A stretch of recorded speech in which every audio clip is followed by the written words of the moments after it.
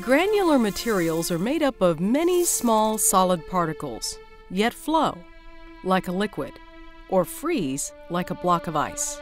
A collection of grains all acting together create new characteristics, as if they are not individual bits and pieces, but entirely new materials. Remember the rice?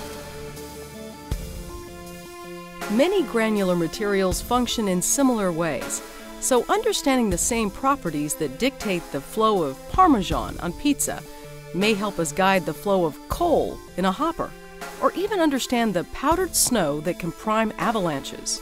Powdered snow is like is a granular material. Actually, most of the time when it's on a hillside, um, wet snow on top of it will keep it from keep it in place. And uh, under the right conditions, like you get a loud noise or loud resonant noise or something like that, uh, the powdered snow begins to become, act like a fluid and the snow, you get an avalanche. Scientists and engineers hope to learn not only how granular material systems work, but if they can be used as models for processes, like the flowing or freezing of water molecules that occur at the scale of nanometers, billionths of a meter. There's a fundamental aspect of this where you learn something about the way states of matter transform from one state to another and whether in fact it's deeper, whether what works for atoms and molecules actually works for grains and bigger things as well.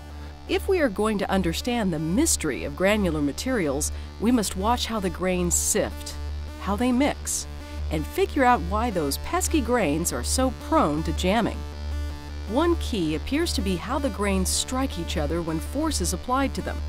The bolts of strain seen here, called force chains, reflect bands of stress that carry a push of force from the point of contact with the outermost grains inwards from grain to grain until the force dissipates. Force chains are just special lines of particles in a granular material. It's where much of the force is carried in a granular sample and it's in fact because there's so much of the force carried on the force chains that it's really important to study them.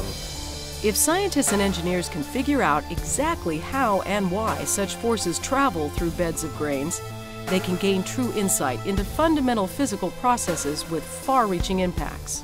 So what one expects in things particularly like avalanches or even earthquakes where you have a lot of shear in the system, those should be dominated by force chains so that when you understand the way force chains be behave in a well-controlled lab system, there are immediate applications to all sorts of flowing systems, avalanches, flows in hoppers, earthquakes, etc.